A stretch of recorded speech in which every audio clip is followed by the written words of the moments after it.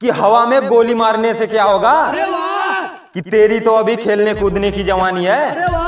कि हवा में गोली मारने से क्या होगा? तेरी तो अभी खेलने कूदने की जवानी है। और बेटा ये गोली बंदूक हमें मत दिखा। ये तो बस यूपी वालों की निशानी है।